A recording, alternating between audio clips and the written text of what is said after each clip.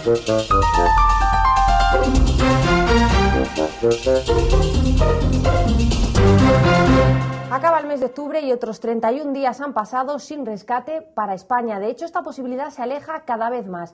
El presidente del Gobierno, Mariano Rajoy, ha reiterado hoy en el Congreso lo que decía el lunes. El rescate no es imprescindible y fuentes de Moncloa han comunicado a varios medios de comunicación que, de hecho, salvo algo extraordinario, cataclismo o accidente imprevisto, España no va a pedir la ayuda en este 2012. Eso sí, esas condiciones, cataclismo, algo extraordinario o eh, accidente imprevisto, depende del medio en el que se lean. Los analistas, sin embargo, siguen pensando que España necesita la ayuda. Es el caso de Justin Knight, estratega para Europa de VS, que recuerda que España se está comiendo sus reservas de crédito y probablemente no será capaz en 2013 de seguir financiándose por mí misma. Por lo tanto, es un misterio tanto las condiciones que se tienen que dar para que España pida ese rescate como cuándo lo va a hacer. Un misterio similar a los misterios de esta noche, la noche de Halloween, una noche en la que las bolsas pueden celebrar otro mes de subidas porque octubre no acaba con esos típicos suelos de mercado,